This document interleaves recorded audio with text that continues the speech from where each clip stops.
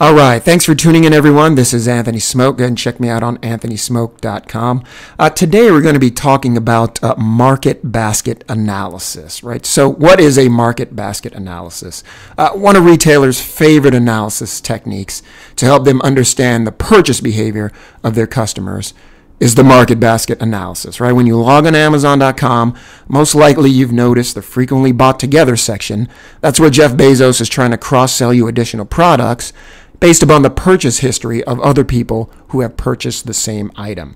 So the market basket analysis is very uh, useful because it influences how retailers institute their sales promotions, uh, loyalty programs, cross selling and upselling, even store layouts. So, if a retailer observes that most people who purchase Coca Cola, and I got to give a shout out to Coca Cola since I'm broadcasting from Atlanta, uh, also purchase a package of Doritos, then it may not make sense to discount both items at once, as the consumer may have purchased the associated item at full price anyway. So, they, if they buy the Coca Cola, they may already purchase the Doritos at full price anyhow, so don't discount both items at once. So, understanding the correlation between the two is powerful for the retailer. So, we're going to use Tableau to perform a very simple market basket uh, analysis based upon default superstore data. And there, there are many ways to do this in Tableau. You can make it as complicated as you want, but I, I find this to be the simplest to, uh, to understand. So, Let's uh, let's go back to our data source. We have uh, sample superstore open. We've got uh, orders. Let's do a self join here,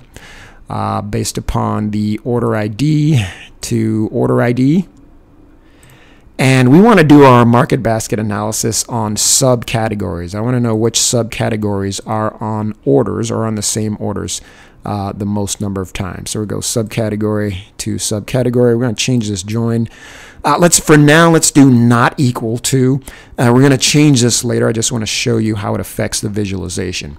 So what we want to do now is we want to take the uh, the subcategory uh, down here in my products subcategory, and I want to drag that to columns, right? And then we're going to take subcategory from the self join and bring that to rows. And you'll see we get this uh, this uh, interesting correlation, almost correlation matrix uh, going on. Let's change the, the view to entire view here. And just a little bit of formatting. Let's uh, rotate the labels here. Okay. All right.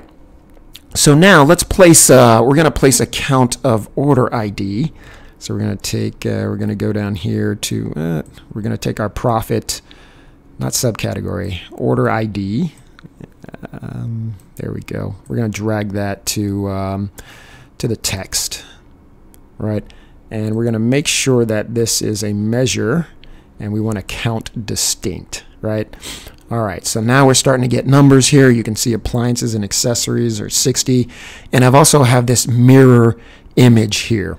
Um, but for now, let's just take let's take a copy and place this on color and change this to a, uh, let's change it to square, right? And as you can see, boom, my eyes are immediately drawn to paper and binders. I can see that they appear on the same order 275 times. But I also have the same information here. How do I get rid of uh, the kind of mirror side here of these numbers, right? You could highlight all of these and, and get rid of them uh, manually, but this is where we go back to our join and then we're going to change this to let's make it let's make it less than and so now when I go back to my sheet boom I've lost kind of my mirror side and I only have uh, my pertinent market basket uh, information here my paper and my binders 275 I'm drawn to furnishings and binders 198 times. So uh, as you can see boom this is my, my visualization. And so you can you can change this up. If I wanted to take uh, let's say let's see what's profitable. I could throw that on the colors and you know I have uh, profitability here or profits raw profits. I could take profit ratio and also throw that on colors and you know my, my information changes. So what uh, what I would recommend just keep it on the accounts and you can take profit. You can throw that on the tooltip. You can take uh, profit ratio. Also throw that on the uh, on the tooltip. Let's try that again. Throw that on the tooltip.